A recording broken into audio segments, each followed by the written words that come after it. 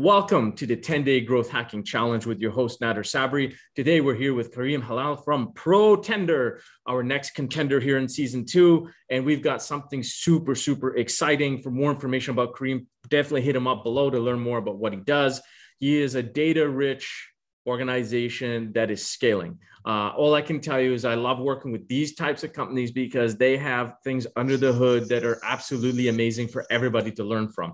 Before we get started, just as a reminder, this is based on the growth thinking design methodology book. For those of you who are watching the challenge and want to do this on your own, pick up your copy and you'll be able to do some of the things that we're doing over here. Today, we're going to get to know Kareem a little bit better, his business, his growth challenge, and the, the three growth hacks we plan to execute in the next 10 days. Kareem, over to you if you can tell us a little bit more about yourself and Protender. Sure. So nice to meet everybody. Thank you, Nader. Great to be here. Uh, Protender is effectively a, a, a, platform to help the construction industry build better uh, with less risk. So the way it started off was about seven years ago. We realized when I was working with, with my family office uh, that construction was very much still done the old ways. It hadn't evolved in a long time, and it was still very much paper and pen based, and there was not a lot of information on what's happening, who's working with who. So it was very hard to find the right people to work with for the right project for the right price, um, especially when you're building or you outside of your core market, which might be a city or a state or, or a country. And so from that a particular idea, started off uh, Protenders initially as a online bidding platform for construction to really connect all of the developers, contractors, consultants to one and help them do the whole bidding process in a very efficient way. But then we added the whole data layer to it, which is really more of a LinkedIn for construction, which helps companies get found, uh, source leads. And then the flip side of that is also go and see what's happening in the market and then from there understand who to work with. So it's a full top to bottom uh, platform for the industry for developers down to suppliers and global in nature. We already have customers or members um, from 105 countries. We've uh, processed around $45 billion worth of projects in the platform, and we track about 70,000 projects around the region. So that's what we do. Uh, we've uh, we we've gone through, of course, all the regular ups and downs of uh, being entrepreneur in the UAE. Um, our biggest growth challenge has been effectively with um, going combining a enterprise solution, which is tendering, to a much more high volume, you know, lower touch points um, side of the business, which is more of the profiles, and trying to find a single way to send the messaging across and to really explain the value proposition to all people, uh, different people in the industry. Um, couple that with the fact you're being bootstrapped because cash fund cash uh, funding for construction tech startups in the Middle East isn't the easiest thing to get. Um, so that's kind of where we are. We're, we're growth, we're, we're hacking, we're trying to find ways to, to, to accelerate the growth in preparation for a, for a big uh, series A round happening in the next couple of months. Perfect. Perfect. I think you had a really good analogy, if you don't mind sharing, where you're talking about how what you do is like the LinkedIn of construction compared to something else, which I couldn't remember because, but it sat sure. very well with me. Yeah.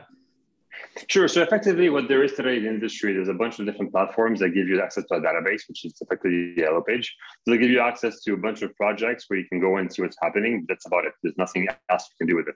The the benefit of Protenders is that you're able to do within a single platform to do everything from going in, getting, building your profile, keeping updated, using that to, to have people find you.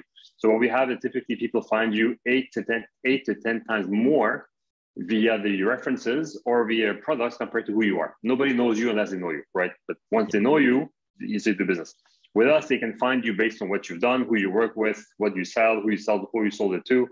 And so we're effectively more of a LinkedIn, which is really more of a one-stop shop platform compared to a yellow page, which is you go in try and find the right companies.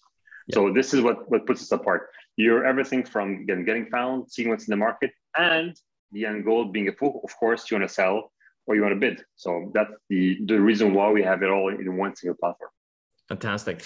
And cracking it down to your growth problems, how would we how how are we going to kind of um, illustrate your just your general growth problem what, and what we're going to pursue in this challenge, and then the three growth hacks that we're going to go after?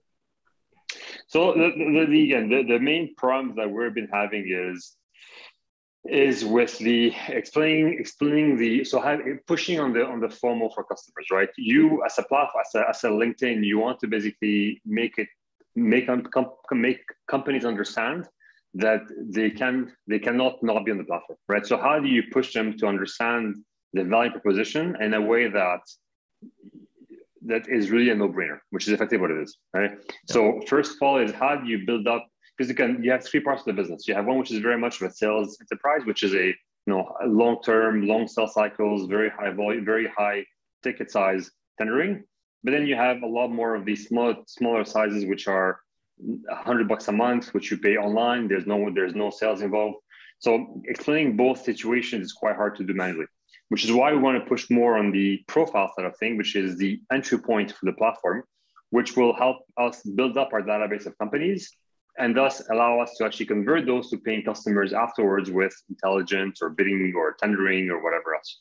So the main problems that we're trying to solve today is how can we um, really explode or increase the number of, uh, of, of, uh, of uh, companies signing up with literally no involvement from our sales team. We want them yeah. to understand the value proposition. We want them to understand what the positive value for them, how to do it, and really give us uh, entry point for generating more leads afterwards into the uh, in other things that we sell. So essentially, okay, so so the, the big benefit is the lead generation, obviously, to the clients. But the, the the challenge for you as a growth perspective is one is awareness of the depth. Well, first is awareness. Second is awareness of the depth of the the the richness of the data you have, and then converting them into uh, developing profiles, which is the entry point, right? It's the low friction entry point into your platform, correct? Well, the way the platform works is a bit of a it's a bit of a, cycle, right? The more customers we have, the more data we get. The more data we get, the more it becomes easier for us to sell data. The more data we have, again, the more you can mix things with. It. You can make you know intelligence. You can provide indexes. So it's getting access to data is actually quite uh, is, is actually quite important. Um, and so right now we've been doing it in a very manual, very very you know very uh, research kind of way, but we want to make that more as being a, a crowdsourced. Um, and so the profiles are a great way for that because the way the profiles work, the more data you give us, the more you rank up higher in the results, which means you get more leads, you get more, you get more, more, more traffic. The more you update your profiles, the more again something happens. So there's an interest in you giving us more information, and we show you specifically how every part of the information you give us generates more leads for you. Absolutely. Right. So the moment you see that, this is your aha moment. The moment you see how much giving us data increases your visibility, thus your number of leads, uh, helps us drastically for one, a lead generation, because that becomes people we can then upsell other services. But then it also makes our data collection process easier because it means you have more data to actually go and resell afterwards. Yeah. Um, and of course, we verify everything, but still it needs to be, there needs to be an input into it.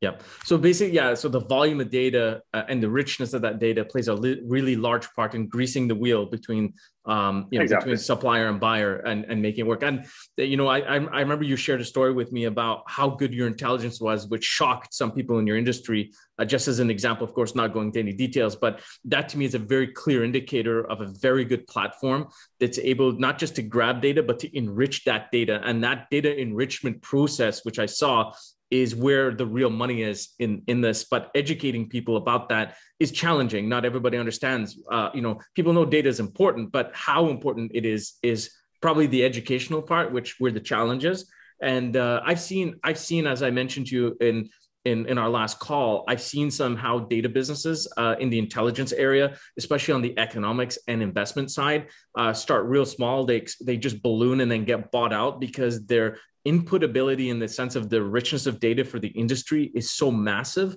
uh, and the indirect application of that data is actually more valuable than the direct application of that data. And that's going to be kind of the future where this will go of course in the long term.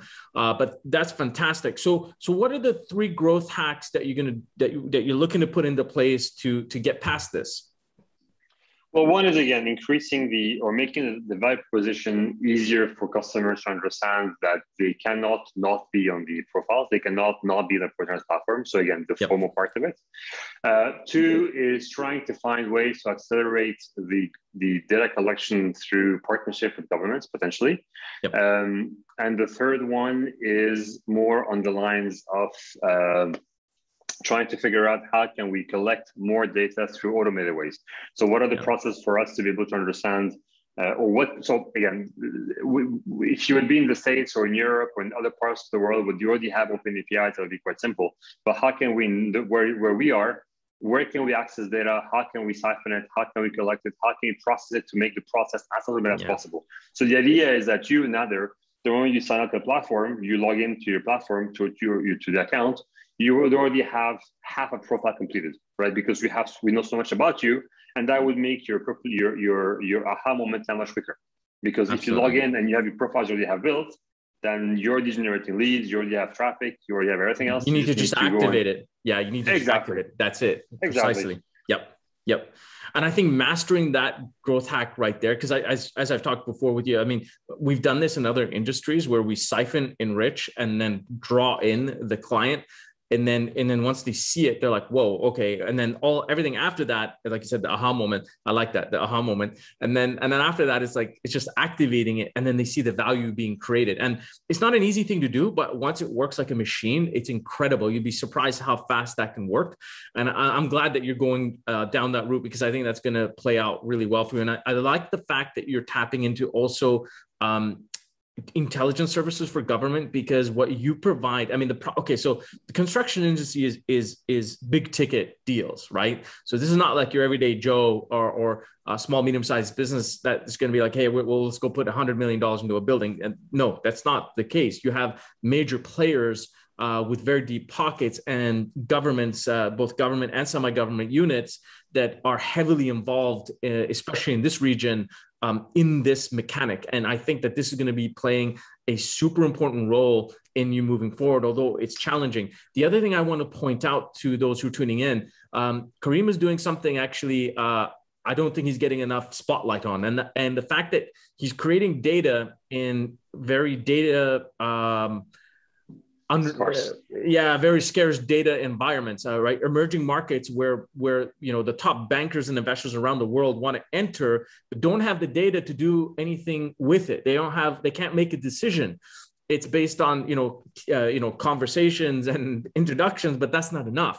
Uh, independent decisions need to be made by funds and and businesses to place money, and this is where Kareem's service becomes very valuable. Um, when organizations create enriched data in uh, play in, in environments where data is very scarce. And there's a good example in the region. I think you already know them. Uh, they're, they're one of the old school guys, but broke grounds, which is Zawya.com, if you recall. Uh, do, you, do you remember Zawya? Actually, we used to, we used to, we, we partnered up with them at some point. So I know them very well. There you go. So Zawya cracked, cracked open that space where there was like a, a drought in data and then they started as they just basically just put the data there and then they started to enrich it. And and that's exactly what where you're playing the game where i think there should be a spotlight on.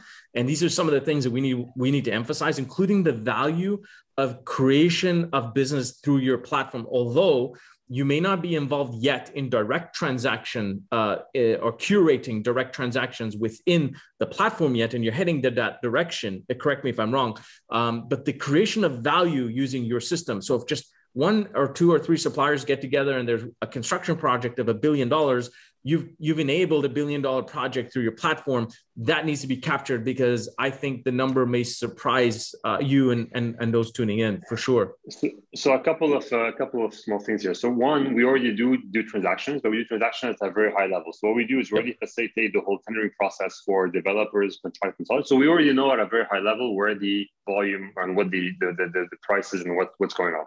What we want to go into is more of the lower level because typically in a project lifecycle, you're going to have one, maybe two or three tenders, but that will specify who is going to be the main contractor. But then it goes down to the contractor buying all the equipment, subtendering out all this, all the subcontractors, and this is where the massive amount of data comes in because then you can oh. trade. There's two reasons. One is it gives you much more data, much more transaction, much more volume. But two, you can start tracing every single dirham or dollar from the initial point all the way down to who sold it, how much was it bought for compared to how much it was quoted for, um, what's going to be the demand for services and, and products in the next six months, um, who, who, actually worked on it, who actually installed a light from where, from which supplier, what quality, you know. So you can start doing two things. One is traceability and efficiency. So you're able as a government to understand, well, specifically every dirham that's being spent, where does it go? top to bottom. And two, because you have more now of a of an audit trail for the whole building, it increases transparency, which increases you know um, trust in the ecosystem, which potentially brings in more foreign investors into the country, right? So construction is one of the industries which is a massive industry, but the fun fact is about 60% of our projects end up being over, you know, over budget, delayed or canceled, or go to courts.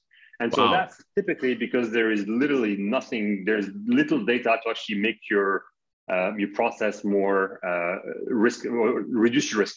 It's yeah. a very risky business because you have no data. And so this is what we're trying to fix with our platform. And this only works if you bring in governments and private sector. If you only okay. do public, you're missing out on the whole on the whole part of the ecosystem. If you only do private, you miss out on the whole again public side. So it yep. only works if you have one platform for the whole ecosystem that brings in everybody from the ecosystem into one platform. Yep. And this is the, the kind of the, the, vision that we have for it. Fantastic. I love it. I think this is going to go places much beyond what you can imagine. Guys, uh, that's uh, Kareem Halal with the Pro Tender. Uh, he's going to be taking the next day 10 day challenge to create more awareness uh, to create, create more visibility, but also to enrich the data uh, using automated techniques to enhance the size of the database to get more clients and increase uh, the revenue created within the system he has. Uh, that's in high level points. To get more information about what Kareem does and who he is, tap tap below into the description. Kareem, any last words before you start the challenge? Can't wait to start, man. Looking forward to it. Awesome. Let's see you. Let's see you in the next video on the first growth hack. See you, Kareem. Excellent. Take, Take care, man. 拜拜拜拜